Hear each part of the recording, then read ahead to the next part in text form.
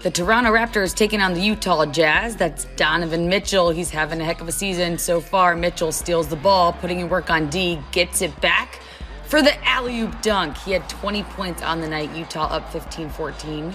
To start this one off, Ingles finds Rudy Gay, who's making his Utah debut. He drains the three pointer 32 27. Then Fred Van VanVleet plays with them, toys with them, step back, makes the three pointer go. Gary Trent Jr. drives into the rim, pulls up instead for the floater.